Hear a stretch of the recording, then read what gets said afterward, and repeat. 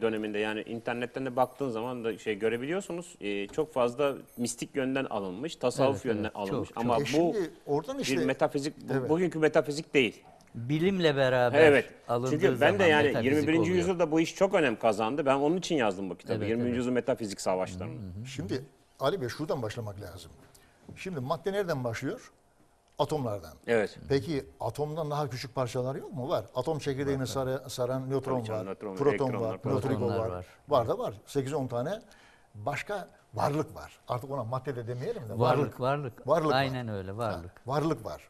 Yani inkar etmemiz mümkün değil. Var. Tabii şüphesiz canım. Bilim Ha ispat şimdi, etmiş zaten. evet biz bunları görmüyoruz. Şimdi bunlar e, Kur'an-ı Kerim'de Kalem suresinde nun yani mürekkep batırıp da yazılan nun. Vel kalemi ve ma yasurun. Kaleme ve yazıya. Kalem nedir? Şu kalemin içerisindeki boya atomlardır. Evet. Bu boyayla Yüce Allah ne yazmış?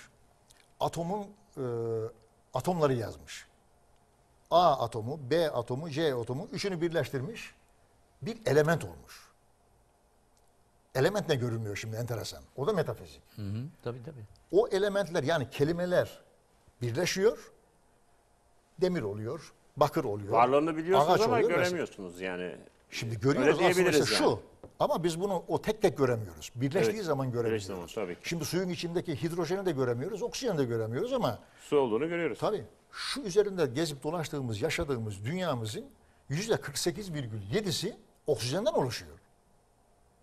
Oksijenden oluşuyor. Çok büyük bir Şimdi denizlerdeki yani sulardaki balıklar e, akciğeri olmayanlar yani hani yunuslar gibi balinalar gibi değil de normal işte sazanlar gibi işte hamsiler gibi vesaire balıklar e, suyu alıyor. Onların e, vücutlarında suyu oksijene çeviren bir madde var bu şeylerinde.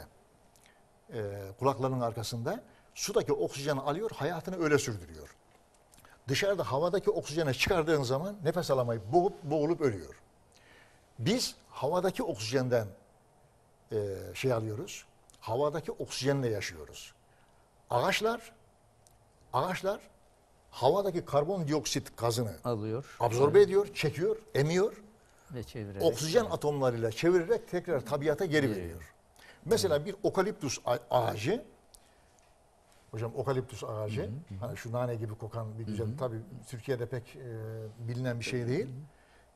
Yani şöyle yetişmiş bir okaliptüs ağacı Bey, senede 250 ton suyu bir tek ağaç yerden çekiyor. Bataklıkları kurutma- kurutmak için yaparlar onu zaten ekerler. Oksijenlerini e, şey yaparak, ayırarak tabiatın şeyine veriyor.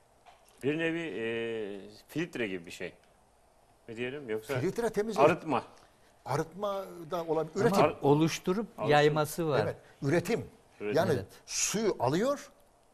Yani şimdi suyun içerisindeki hidrojeni ve oksijeni e, şey şey olarak herhangi bir fabrikadan işleyerek Ayrıştırır. ayırmak mümkün. Ayrıştırır. Ama bir ağacın yılda 250 ton suyu bu şekilde şey yapması yani e, basit alınabilir mi? Yani çok ciddi bir şey. Şimdi Şimdi, burada- ağacın bu ağacın aklı yok. Öyle zannediyoruz yani. E peki bu Ağacın bu gücü nereden geliyor şimdi? Ağaca bu e, yani tam tersine havadaki suyu alıp da niye yere vermiyor da yerdekini alıp da havaya veriyor? Ağacın Bizimle görevi- ilgili bir şey var burada şimdi. Yani bakın. biz bilmiyoruz diye yok mu demektir? Evet. Muhakkak değil. Biz nefes almayı biliyor muyuz? Oksijen dediniz. Onun için aklıma geldi. Bilmiyoruz. Eğer biz nefes almayı bilsek, oksijenin o yüksek frekansını kendi bedenimize çektiğimiz zaman içeride o karışımların hepsini tek tek tek aşağıya doğru inerek yıkıyor, temizliyor ve biz toksinleri dışarı atıyoruz. Doğru dürüst eğer nefes almasını bilirsek ki bizim en büyük eksiğimiz bu. Onun için biz bunları öğretmeye Tabii, de nefes çalışıyoruz. alma E, teknikleri var. nefes alma teknikleri var. Sizin parapsikolojiden yana Diyaframla tabii var. ki nefes aldığınız zaman oksijenin o yüksek frekansı içerideki bütün takıntıları sizden temizleyip dışarı boşaltıyor. Sınava giren çocuklara hep bunları söylüyoruz. Önce nefes almayı öğrenin. Nefes alın verin. Peki hocam bu ondan nefes alma sonra girin. teknikleri olan bir şey var. Yani bir gruplar falan var. Böyle bir, bazı çalışmalar yapanlar var. Yani ne kadar doğru oluyor? E tabii bilemiyorum. Teta nefesi var. farklı nefes e, türleri var. türleri. Hangisini uyguluyorlar? Normal nefes mi uyguluyorlar İlginç. bilmiyorum. Yani nefes almak, burundan alıp ağızdan vermek tabii. Anladım. Bunu da belli bir sayı içinde yapmak lazım. Hocam şimdi sorular geliyor e, Buyurun, Facebook'tan. tabii ki, E, şöyle Murat Selim'in aldığı izleyicimiz. E, işte ayrı programlar ederim. Benim hocama sorum oldu. Cahit Utku Hoca diyor. Metafizikte otomatik yazı var mı? Bunun hakkında bilgi verir Yani hocam otomatik demiş. yazı derken acaba Yani medyumsal, Medyumsal yetenek, yetenekle mu herhalde belki o açıdan Herhalde. O, E, e, yazıcı medyumlar diye bir şey vardır. Bazı kişi medyumluk vardır zaten ama ciddi olanını ele alırsak tabii. evet. E, kendisi birdenbire kalemi alır, çok seri şekilde farkında olmadan yazılar yazmaya başlar. Ve sonra onları ele aldığınızda bakarsınız sanki burada oturup düşünülmüş bu yazı yazılmış gibi. Ona biz yazıcı medyum diyoruz. Bu vardır. Eğer izleyicimiz bunu kastediyorsa Onu doğru. kastediyor yani büyük Evet, ihtimalle. herhalde tabii. Hasan Özkan da e, şeyi soruyor. Uzaktan zihin kontrolü mümkün müdür? Düşünce gerçekten kontrol edilip bireysel yönlendirilebilir mi? Halit Hocam siz ne dersiniz? Yani uzaktan zihin kontrolü konuları var da. Ee, mümkün. Mümkün. Yani- Yani şöyle mümkün. Tabii bu da bir gene bir şimdi burada konuşmamız yani metafizik Tabii. üzerinde Tabii, devam tabii. ediyoruz. Yani şu anda insanlık o noktada ben çok e, yeni ve başta olduğunu düşünüyorum. E, şimdi mesela televizyon yayınları, internet Evet. yayınları, sinema görüntüleri e, bunlar uzaktan beyni e, yönlendirme. Tabii o subliminal mesajları Sefer Subliminal Darıcı ile yaptığım mesajlar, evet. programda Şimdi anlattık. ele, da. elde ele alınan bir şey yok burada. Gözle görülen bir şey var. Peki gözle görülen bir şey normalde ellerde tutulması lazım. Peki sinema perdesindeki görüntü elle tutulacak bir şey mi? Hayır değil. O sizin beyninize hitap Peki, ediyor ha, direkt. Şimdi işte orada biz şu fizik kamerası e, kamerasıyla gözle görüyoruz. Fakat esas algılayan metafizik olan ruhumuz. Onun için yani akıl, bilim, maruf münker de- denilen Kur'an'ın ifadesine göre yani insanlık için ortak iyi, ortak kötü ve tabiat kanunları. Bu dört temel esas üzerine e, vahiy oturur. Bunu dışladığın zaman veya bu, bunlardan bir tanesini yani sandalyenin dört ayağından birisi düştüğü zaman öbürleriyle dengede durması mümkün değil. Orada tamamen hurafelere dayanı hiçbir kimsenin bir işine yaramayan hatta insanlığın başına bela olan bir din algısı ortaya çıkar. Şimdiki gibi. Peki bizim bilim bizi nereye götürüyor diyelim. Mesela ayağımızı bastığımız zaman yürüyen merdivenler, fotoselle açılıp kapanan kapılar. Bunlar bize hepsi zarar veriyor biliyor musunuz? Alacak olduğumuz bilgileri bunlar engelliyorlar. Bizim dengemizi bozuyorlar. Bir tarafta bilim var fakat ruhsal olarak biz zedeleniyoruz. Ama şunu da söyleyebilirler, sorabilirler hatta. Çok fazla enerjilerin oluşmasını. E tabii negatif enerji bozuyor. yayını var. Evet, evet. Buradan geçtiğiniz zaman hatta metroya bindiğiniz zaman da aynı şey var. Ama bundan kaçamıyoruz. Bunların içinde yaşıyoruz. evet. O zaman ne yapmalıyız? İşte bilim dev- devreye girecek bu sefer. İşte Zaten bilim o. Şimdi bilim de şimdi Ne yapabiliriz? bilim şu. Bilim aslında hayır üretmesi lazım.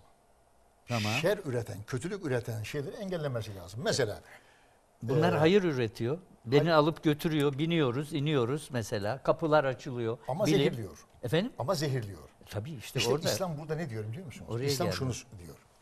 Şimdi demokratik e, sistemlerde ne vardır? Çoğunluğun dediği olur. İslam'a göre çoğunluğun dediği olmaz. Çoğunluğun dediği olmaz. Yani yüzde 99'u böyle dedi. Peki yüzde bir kişinin burada zararı var. Ha, o yüzde bir kişinin zararını göz ardı edemezsiniz. O çok enteresan bir şey. Evet. Yani Bunu göz ardı edemezsiniz. bakış açısı yani Evet. baktığımızda. Hayır bu dinin baş- bakış açısı. Onun için bakın e, Kur'an-ı Kerim'e göre bir tek masum insanı öldürmek bütün insanlığı öldürmek gibidir. Çünkü herkes aynı canı ve aynı kanı taşıyor. Tabii. Yani bir ruh eğer o Allah'ın nefesi zarar görüyorsa adeta teşbihat olmasın Allah oradan inciniyor. Onun için Allah bütün insanlığı yok ettiniz diyor. Yani bir tek kişiyi felakete uğratmakla. Mesela sünnet, şey, maruf ve münker diyoruz. Maruf ve münker nedir? İnsanlığın ortak menfaatine ve ortak zararına olanlar. Şimdi e, nüfusumuz arttıkça e, tarım alanları azalıyor. Tarım alanları artırmak için ne yapacağız? Ormanları yok edeceğiz. Ormanları yok ettikçe hayatımız zehire dönüyor.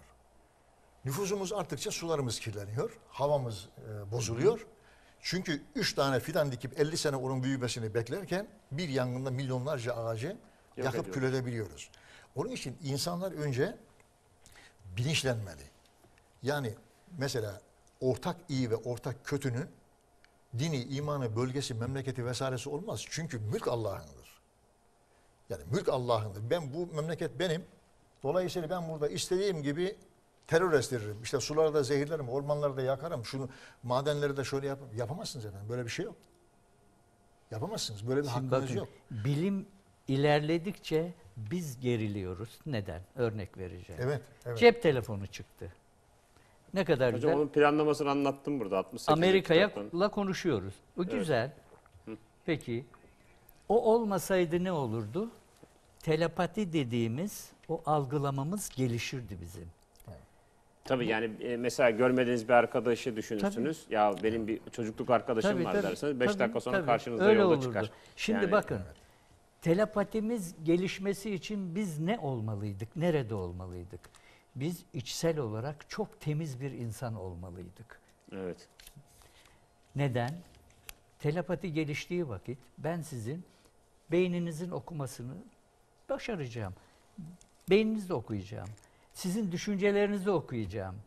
Peki siz benim hakkımda ne düşünüyorsunuz? Ben onu fark ettiğim zaman aramızda neler olacak? Evet. Ne oldu? Şimdi bilim ilerledi. Cep telefonuyla görüşüyoruz ama onun ardında içimiz temiz olmadığı için telepatik algılama yapamıyoruz. Eğer yapsaydık birbirimizin düşüncelerini okusaydık birbirimizle Evet. savaşırdık, kavga ederdik. Şimdi şeye geldik. İkinci e, Şimdi konumuza buraya geldik. Bir cümleyle bir Tabii. ayet hatırlatarak tam hocamın VTR'ye gireceğim hocam. Bağlayalım. Onu tamam. bağlarsak. Şimdi e, telepatiden misal veriyor hocam. Tam orayla bağlayacağım.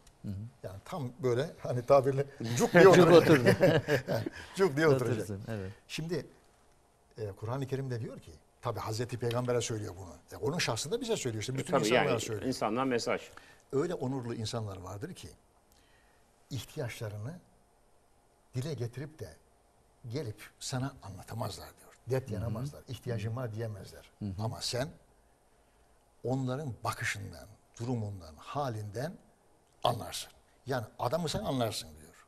Şimdi e, bunu peygambere söylemiş geç. Tamam. Çünkü biz Kur'an'ı anlamak için, yaşamak için değil. Sevap kazanan, sevap denen bir putun arkasından koşup geliyoruz. Bu sevap denen putu yıkabilirsek o zaman akla ve bilime, e, sünnetullah'a, Evet. maruf ve münkere yöneleceğiz. O zaman din insanlığın hayatını cennete çevirecek.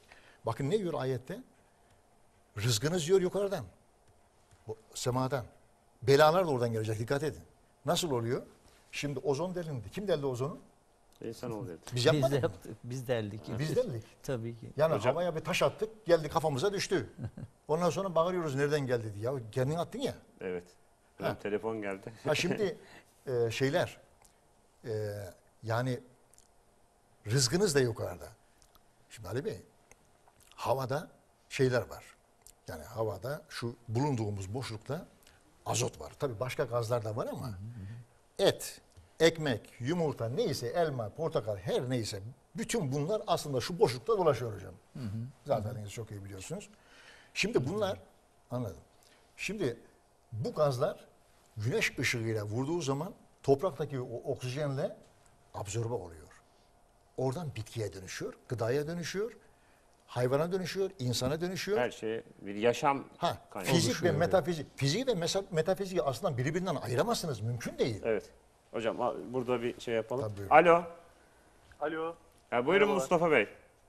Merhabalar. Merhabalar. Ee, iyi akşamlar. Programımıza İyi akşamlar. katıldım. Teşekkür ediyorum hepinize. Ee, Kur'an'dan örnek veriyordu e, konuğumuz e, sağ Evet, olsunlar. Halit Hocam. Ben de bunun üzerine e, uzun zamandır çalışmam vardı. E, Kur'an'la Einstein'ı bir araya getiren bir çalışmaydı. Relativite üzerine. Ve e, bunu verip kısaca vaktinizi almadan kapatmak istiyordum. Bunu bir e, çok da tanınan bir hocamızla paylaşmıştım. Hatta isim vermekte sakınca yoksa Caner Taslaman hocamızla. Evet. Ee, bunun üzerine de program yapıldı dört gün önce. Ee, konu şuydu. bir ayette geçer. Bizim katımızda e, bir gün sizin saydıklarınızda bir yıla bedel, bin yıla bedeldir. Bu inanılmaz şekilde e, göreceli zaman formülüne baktığımızda Einstein'ın ve yerine koyduğumuzda Allah katındaki hızın ışık hızının mutlak hıza e, trilyonda 0.05 ölçüsünde eşit olduğu çıkıyor.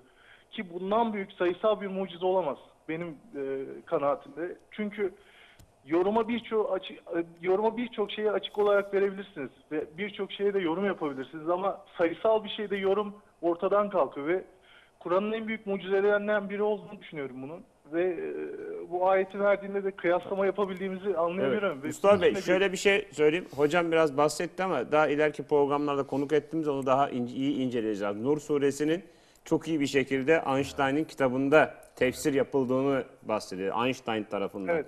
Yani Nur suresini daha iyi incelerseniz tefsirini size daha iyi bir kaynak olur çalışmanıza da. Şimdi Einstein tefsir yapmıyor. Haç Einstein, Einstein anlatıyor bilimsel olarak ama Nur suresini Nu- tefsir ediyor gibi. yani aynen o Nur Aynen öyle, suresindeki e, 35. ayeti sanki onu açıklıyor. Onu açıklıyor. evet. Haç sanki onu 22. açıklıyor. Evet. Gibi. Oldu teşekkür ediyorum. Peki çok teşekkür ederiz Mustafa Bey. Şimdi Sağ olun iyi çalışmalar. arkadaşın e, söylediği bir e, sene ifadesi de var. Kâne mikdaruhu hamsine elfe sene. Yani dünya senesiyle 50 bin yıldır Allah katındaki bir gün. Çünkü e, yaradan için zaman ve mekan diye bir şey söz konusu değil. Evet. E, hani iz- işte relatif yani izafiyet buradan e, geliyor. Yani burada- görecelik. Zamanla an Evet. giriyor işin içine. İl e, kelemhem bil basar diyor Yüce Allah. Yani e, sizin yani bizim zaman dediğimiz milyarlarca sene, milyarlarca e, evvel, milyarlarca sonra dediğimiz Allah'a göre kelemhel basar bir göz kırpma gibidir. Bu kadar basittir.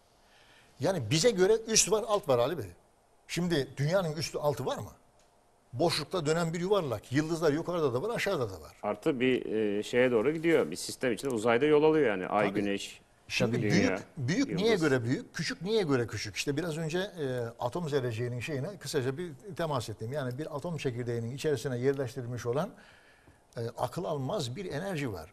E şimdi bunu insanın yapması mü- mümkün değil. İşte ateistlere ben bunu diyorum. Yani bu atom çekirdeğinin içerisine bunu böyle bir enerji var mı? Var. Buna inanıyor musun? İnanıyoruz. Tanrı'ya, Tanrı'ya inanmıyorum diyor. İşte ben diyorum ki o atom çekirdeğinin içerisine o enerjiyi kim yerleştirdiyse benim Tanrı dediğim veya Allah dediğim o. Ayette var en büyük gücü en küçük zerrenin içine yerleştirdik diyor mesela. Tabii ki. Peki hocam şimdi ikinci bölüm şey yapacağım. Büyü ve sihrin İslam'da yeri. Bu konuyla ilgili bir VTR'miz var. VTR'den sonra şifreler devam ediyor.